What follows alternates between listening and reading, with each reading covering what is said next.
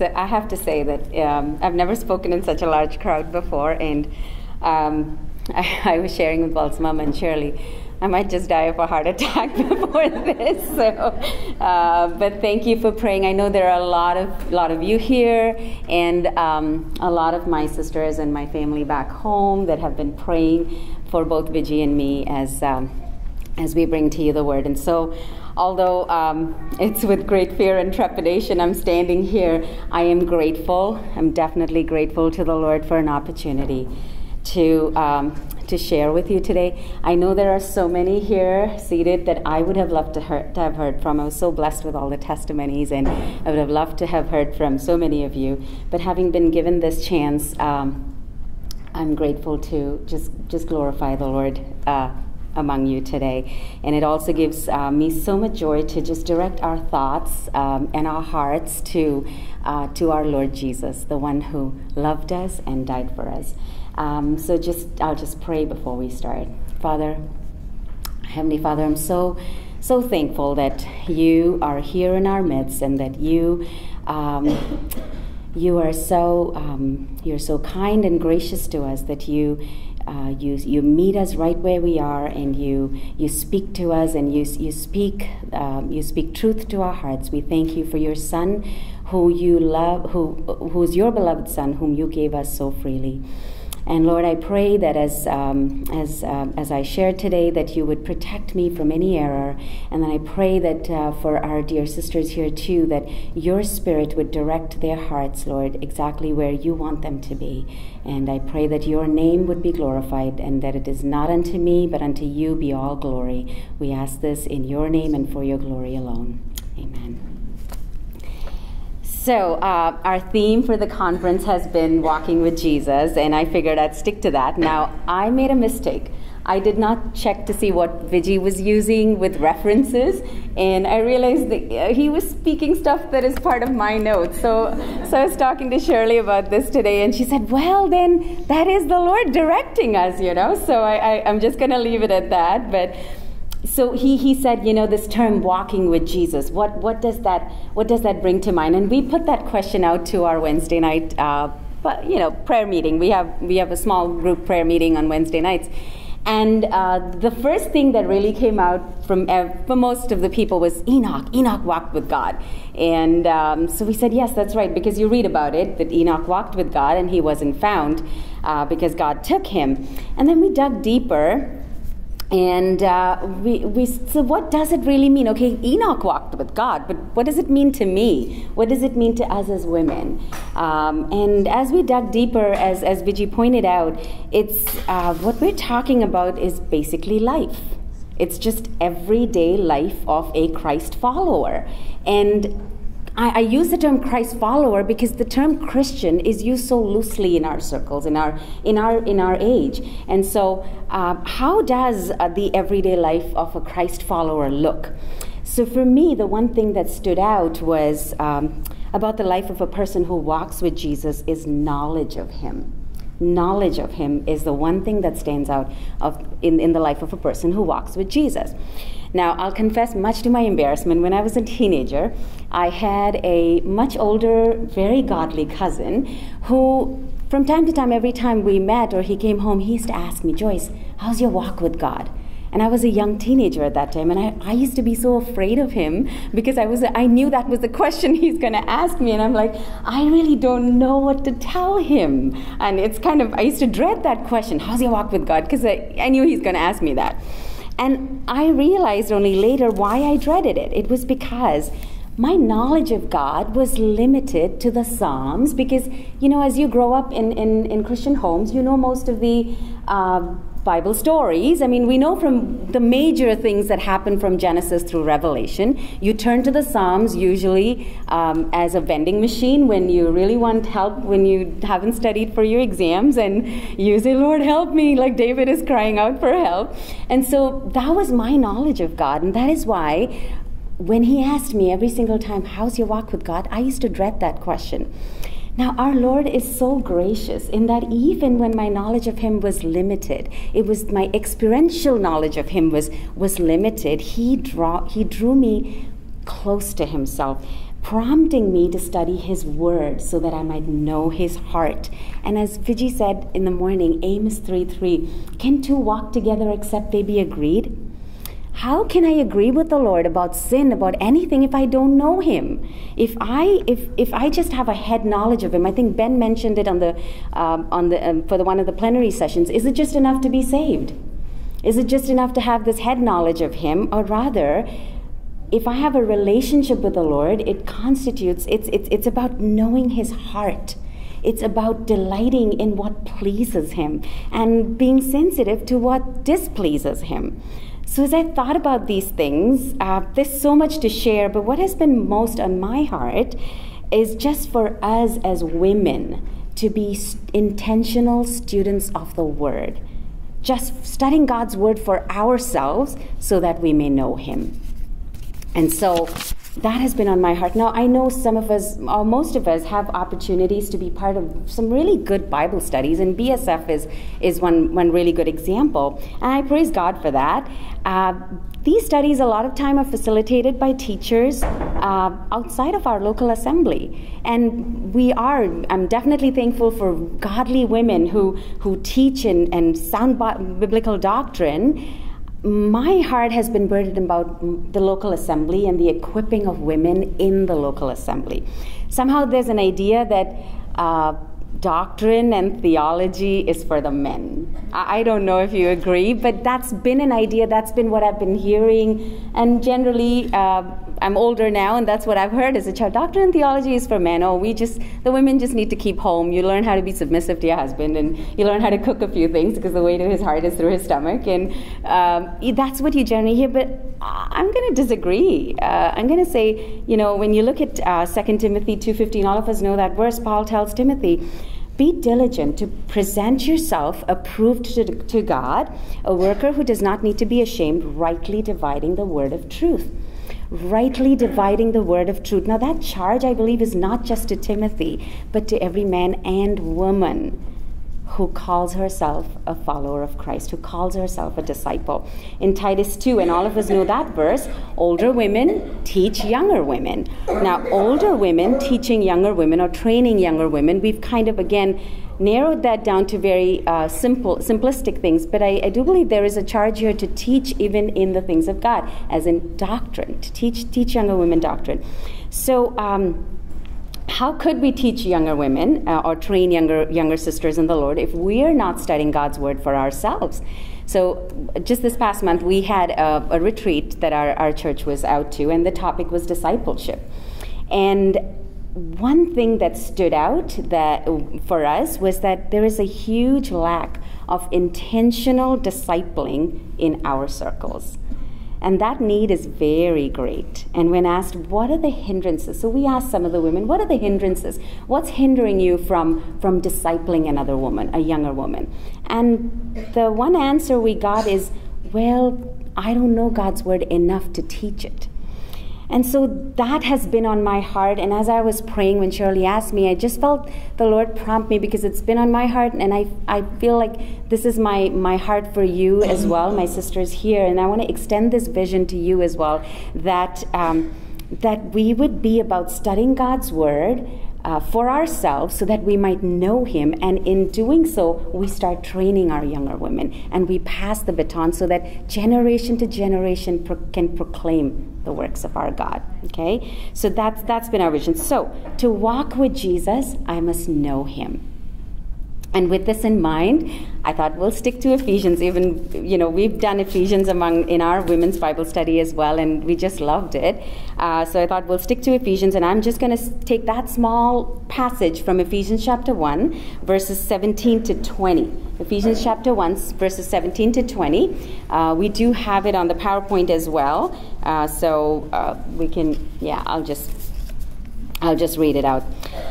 So, Paul's prayer for the Ephesians, Ephesian believers is that the God of our Lord Jesus Christ, the Father of glory, may give you the spirit of wisdom and of revelation in the knowledge of Him, having the eyes of your heart enlightened, that you may know what is the hope to which He has called you, what are the riches of His glorious inheritance in the saints And what is the immeasurable greatness of his power toward us who believe, according to the working of his great might, that he worked in Christ when he raised him from the dead and seated him at his right, right hand.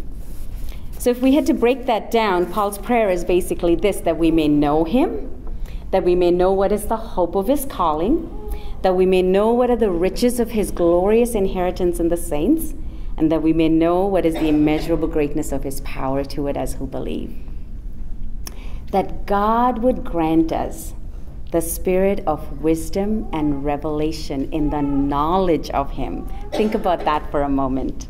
That this awesome God would reveal Himself to us, that He would even want us to know Him, to know Him intimately, to know Him deeply. I was reminded, and I think Viji mentioned it in one of the workshops too, about in the Far East, about how kings. Uh, they built walls around their palaces lest the common man set eyes on them. Or if, if the king were to pass, the man, the common man had to bow his face so that he could not even look at the king. And yet we have this awesome God inviting us to know him, to be, have a deep experiential knowledge of him. That's just astounding to me. And as I thought about that, I thought knowing him involves knowing his character. That's, that's a huge part of knowing him, involves knowing his character. So, what, is, what does the Bible tell us about him? Now, we all can, can come up with so many answers really quickly. He is gracious, he is kind, he is merciful, he is good, he is holy, he is just, he is loving, he is faithful, he's forgiving, and so much more. And our lives on earth would not be enough to know everything about him that reminded me of that verse in Jeremiah 9:24. Can we turn to it? Jeremiah 9:24. Thus says the Lord, let not the wise man boast in his wisdom, let not the mighty man boast in his might, let not the rich man boast in his riches, but let him who boasts boast in this that he understands and knows me, that I am the Lord who practices steadfast love, justice, and righteousness in the earth. For in these things I delight, declares the Lord. I absolutely love how the Lord is telling us that we can boast in the fact that we can we know him. Notice how it says boast in this that you understand and know me, that I am the Lord who practices steadfast love, justice, righteousness in the earth. What is that? That's his character. I was also reminded of Psalm 51, verse 1, and you don't need to turn to it, I'll just read it, where David says, Have mercy upon me, O God, according to your steadfast love, according to your abundant mercy, blot out my transgression. Notice how God, David falls on God's mercy to blot out his sins. He appeals to God's character. Now, we know the background of that psalm. He had committed a heinous crime and he has the audacity to say, Have mercy upon me, O God, according to according to what? Not according to anything I've done, because I, I don't deserve mercy. But he says, According to your abundant mercy, blot out my transgression. That that involves knowing this God. He, he knew his God and he knew that if God says he is merciful, he will be merciful. And so he falls to God's character. And he says, You have said you are merciful, and so I fall to that. And so our mandate is that we might know him. We might know him through an intentional study of his word for ourselves, so that when Satan tries to deceive us into thinking that God is not kind or God is not loving, we go back to the Bible. And based on the truth of Scripture, we can say, He is kind and He's good and He can be trusted. He can be trusted. He can be trusted in every circumstance of our life. So we walk as those who know Him through the study of His Word. Then Paul says that we may know the hope of His calling, that we may know the hope to which He has called us. What is this hope? I know that most of you will know right away what is this hope we have that He will come, that He will come to take us to be with Himself. And where do I find it? I find it back in the scripture. It's in the Bible. All of us have to go, that's our manual. We have to go back into the Bible. And we, the, the, the beauty of it is God speaks to us in in like the littlest things of our life and you might think oh my goodness how did i find my answer here? I never thought i would find my answer in the word but god will speak to you through the reading of his word. And so um, how do i know that uh, what is this hope? It is that he will come to take us to be with himself. First thessalonians 4 verses 13 to 18 that's where we know about the lord's and, and other passages too. I just picked this one about him coming but we do not want you to be uninformed, brothers, ab- about those who are asleep, that you may not grieve as others do, who have no hope. For since we believe that Jesus died and rose again, even so, through Jesus, God will bring with him those who have fallen asleep. For this we declare to you by, by a word from the Lord, that we who are alive, who are left until the coming of the Lord, will not precede those who have fallen asleep. For the Lord Himself will descend from heaven with a cry of command, with the voice of an archangel, and with the sound of the trumpet of God, and the dead in Christ will rise first. Then we who are alive and who are left will be caught up together with them in the clouds to meet the Lord in the air, and so we will always be with the Lord. Therefore, encourage one another with these words. This passage was read at the gravesite for my dad's funeral six years ago. And standing there looking into the grave and listening to a dear brother preach so powerfully from this passage, I couldn't help but rejoice in this hope. Oh, we knew that dad was more alive than ever now. And we also knew that based on the authority of the Word of God, we will see dad again when the Lord comes to take us to be with himself. And our hearts were encouraged with that knowledge. And so we ought to encourage one another.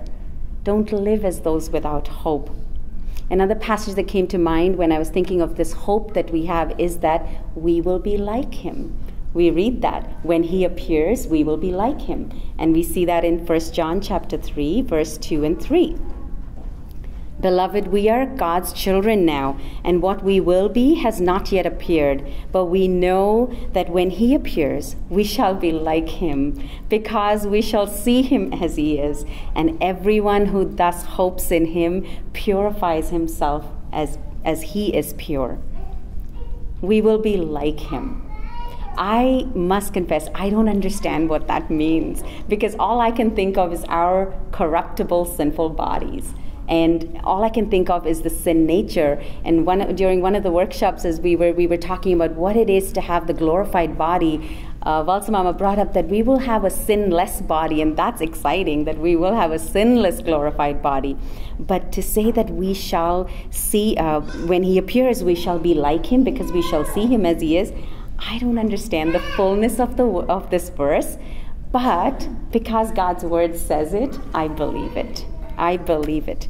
That word hope, really, when we see what is the hope of our calling, that word hope is not a hope so, like, oh, I hope I get this job, or oh, I hope my children do well at school, or a hope so kind. It's not that. It is a hope with an assurance that this hope will be fulfilled. And how is that possible? Because our God doesn't lie. And if He said it, He will fulfill it. So, what does that hope do for us then? personally, I like to have a practical application for myself. I'm, I'm, I'm very simple in my thinking. I'm like, okay, how do I make this real to me? How do I flesh this out for myself? And so, although you don't, you won't see this mentioned in my practical ap- applications that I give you for the next uh, two points as well. You won't see that specifically in the prayer, but when you read the other verses, this is what I understood that it should motivate us to walk in holiness and purity how it says in, in 1 John 3 3 everyone who thus hopes purifies himself as he is pure. So it should motivate us to walk in holiness and purity for his glory. And next one, that we may know what is the riches of his glorious inheritance in the saints. I love how these words are framed, that we may know the gl- riches of his glorious inheritance in the saints. For a second, I thought, whose inheritance in whom? God's inheritance in the saints because we always think of our inheritance. We have Christ as our inheritance. But this is, we may know the riches of his glorious inheritance in the saints, God's inheritance in us. In chapter 1, as you see all the blessings that, uh, that Paul mentions, in verse 14, he says, We are sealed with the promised Holy Spirit, who is the guarantee of our inheritance until we acquire possession of it. But here, it's God's inheritance in the saints. So it's hard enough to comprehend that God would consider us to be his inheritance but even more mind boggling as you think of it as a rich and a glorious inheritance. So, as I considered this, I was thinking of the Old Testament and I thought of how Israel, Israel is considered God's inheritance. And you read that in Deuteronomy. Uh, you don't need to turn to it. It's De- Deuteronomy 4, verse 20. It says, But the Lord has taken you, speaking of Israel, and has brought you out of the iron furnace, out of Egypt, to be a people of his own inheritance.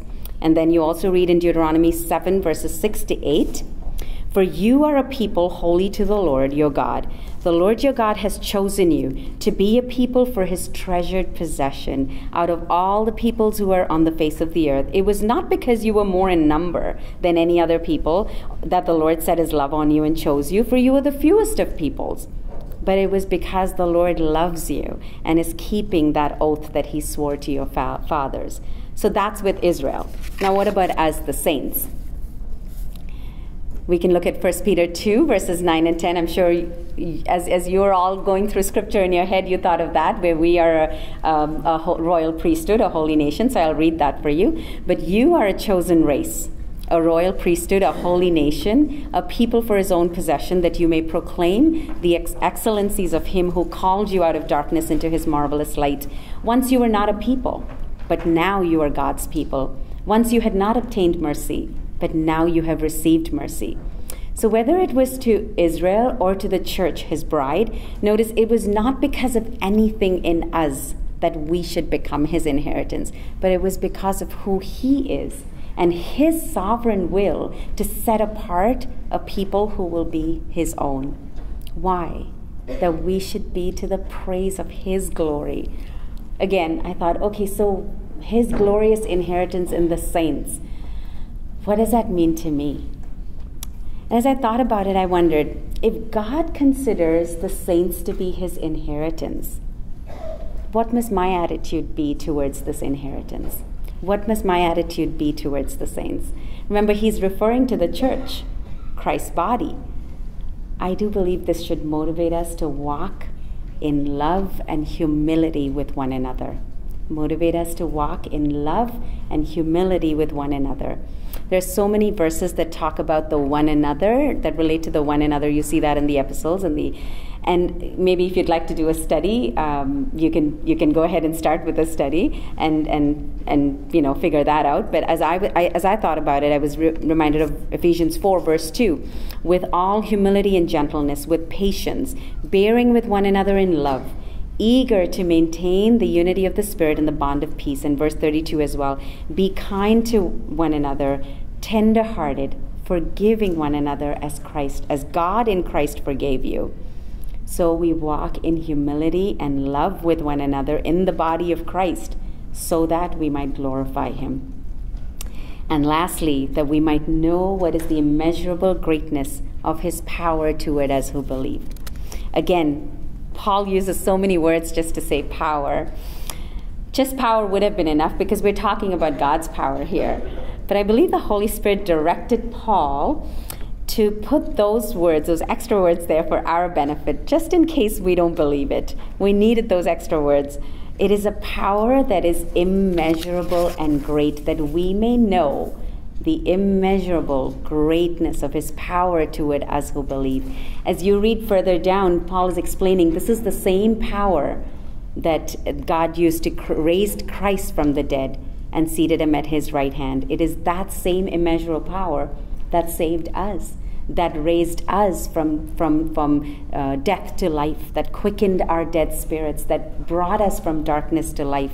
You see, in, um, I think uh, Tinka mentioned in Ephesians 2, uh, we were dead. And we were dead in our trespasses and sins, and we once walked following the course of the world, following the prince of the power of the air. But God, But God, who is rich in mercy, because of his great love with which he loved us, even when we were dead in our trespasses, made us alive together with Christ. My point here is that it is the same power that brought us from darkness to light that made us alive together with Christ, and it is the same immeasurable power that will keep us as we live. It is the same power that, that'll keep us. How do I know this? Again, it's through His Word. 2 Peter 1 3. His divine power has granted to us all things that pertain to life and God, God, godliness through the knowledge of Him who has called us to His own glory and excellence. His divine power has granted us all things, all things that are necessary for life and godliness. How? Through the knowledge of Him, that we might know Him. There's so many verses that will attest to this truth that God's power is enough, is enough and will help us to overcome temptation, to persevere through trials, and to keep us to the very end. How do I appropriate that power to my life? Um, I believe it's by knowing, by believing and applying the truth of God's word to my everyday life. So I believe here the charge is to walk in victory. We walk in victory. Now, God has empowered us by His Holy Spirit to walk and live in victory. I'm not sure about you, but as I thought about this this this specific verse, I felt like I, you know, I don't really appropriate this in my life. You know, so much of the time we depend on our own power to do so many things so much of the time we say, Oh, I got it, I can take care of it, instead of depending on God's power. And I can say that for myself too, just in speaking here too. It just frightened the life out of me. but I, I just felt like I had to obey the Lord here and, and, and say yes. And it is His power that is helping me even stand here and speak. So I feel like a lot of times we live in this with this area, we live in defeat. We don't live in victory. We live in defeat.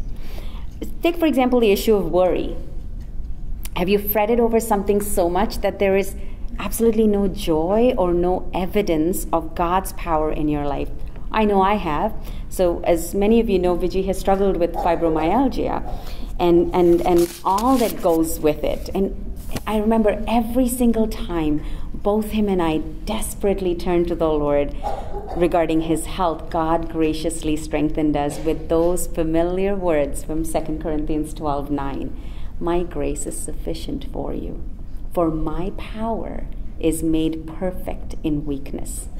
Now, unless I believed and spoke that truth to myself, I would have lived in constant worry and defeat, not able to see God's power is made evident in our weakness. I was talking about this verse to one of my dear friends, someone who's very passionate for the Lord and yet very aware of the nature of her flesh and how it can bring her down. And I loved how she put it. I said, Hey, how, what does it mean to you to have the immeasurable greatness of God's power in your life? And she said, this immeasurable great power is working in me daily to make me to be like Christ conforming to me to be into his image. I agree. It takes this immeasurable great power to conform this sinful heart, to conform this sinful person to be like Christ, but it is God's power.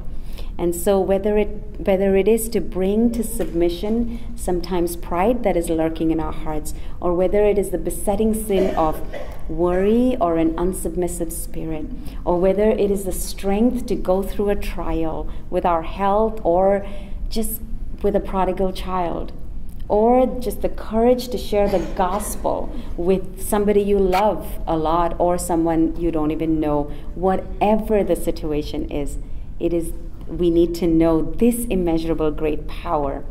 And in order to know it, I have to speak God's word to my heart. I have to counsel myself with the word of God.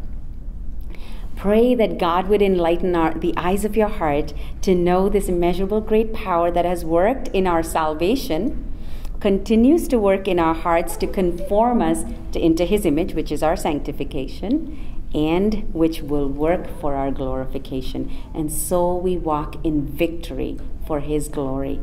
And so, my dear sisters, let's walk with Jesus by being students of His Word and thus know Him. And as we know Him, we may walk worthy of this call by walking in purity and holiness, by walking in love and humility with one another, and by walking in victory with His power so that His name is glorified in our midst. May God bless this to you.